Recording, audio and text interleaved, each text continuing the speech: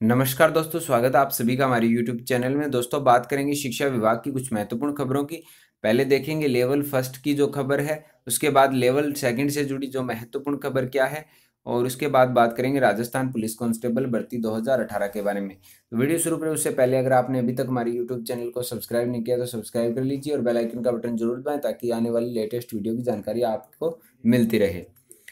तो यहाँ पे आप ये देख सकते हैं, जो लेवल फ़र्स्ट के लिए विज्ञप्ति जारी की गई जिला परिषद हनुमानगढ़ के द्वारा, राजस्थान प्राथमिक एवं उच्च प्राथमिक तृतीय श्रेणी अध्यापक भर्ती 2018 लेवल प्रथम हेतु विज्ञापन संख्या दिनांक 12 चार 2018 द्वारा गैर अनुसूचित क्षेत्र अनुसूचित क्षेत्र नॉन टीएसपी एरिया एवं टीएसपी एरिया के लिए तृतीय श्रेणी सामान्य अध्यापक एवं विशेष अध्यापक के पदों पर ऑनलाइन आवेदन लिए जाकर उक्त भर्ती के अंतर्गत विज्ञापित पदों की सीमा तक निदेशालय बीकानेर द्वारा क्रमशः दो छः दो हज़ार अठारह संशोधित एवं दिनांक एक छः दो हज़ार अठारह को जारी वर्गवार कट ऑफ़ व प्रोविजनल सूची में सम्मिलित जिला हनुमानगढ़ को आवंटित अभ्यर्थियों के दस्तावेज़ सत्यापन के दिनांक, यहाँ पे आप देख सकते हैं, अठारह छः दो हज़ार अठारह को कार्यालय जिला परिषद हनुमानगढ़ में दस्तावेज़ सत्यापन किया जाएगा। इसके बाद बात करते हैं रीट लेवल टू के बारे में।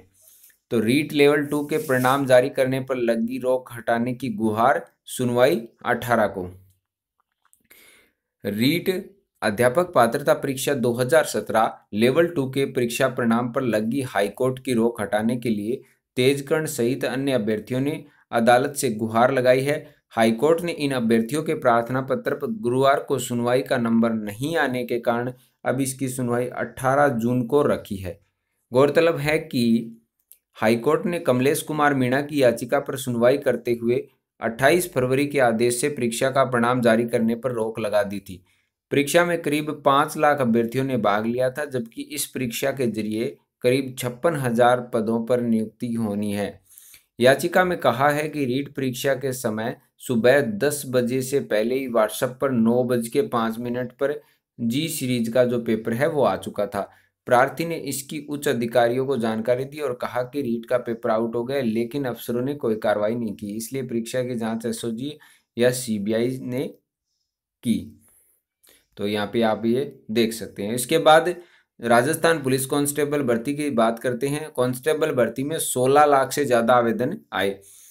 कांस्टेबल भर्ती के लिए आखिरी तारीख 14 जून तक करीब 16 लाख अभ्यर्थियों ने आवेदन किया। अंतिम तिथि के बाद पुलिस मुख्यालय अब इन अभ्यर्थियों के परमिशन लेटर जारी करने की तैयारी में जुट गया है। साथ ही आवेदन की प्राथमिक जाँच भी की जा रही है। ऑफलाइन हो रही इस परीक्षा के लिए मुख्यालय पर्सनल पैनल के माध्यम से प्रश्न बैंक तैयार कर रहा है जिससे पेपर सेट किए जाएँगे। मेरिट जिला स्तर पर बनेगी। जिन अभ्यर्थियों ने एक से ज़्यादा आवेदन किया है, वे एक ही जगह पर परीक्षा दे सकेंगे। पुलिस मुख्यालय सूत्रों के अनुसार परीक्षा रेंज स्तर पर हो सकती है, जिसमें हर रेंज का अलग पेपर होगा। हालाँकि सभी इस बारे में कोई अधिकृत जानकारी नहीं है। सूत्रों की माने तो खिलाड़ी और बैंड के लिए आवेदन करने वालों को पहले दक्षता परीक्षा होगी और इसके बाद सामान्य ड्यूटी के लिए आवेदन करने वाले अभ्यर्थियों की लिखित परीक्षा होगी।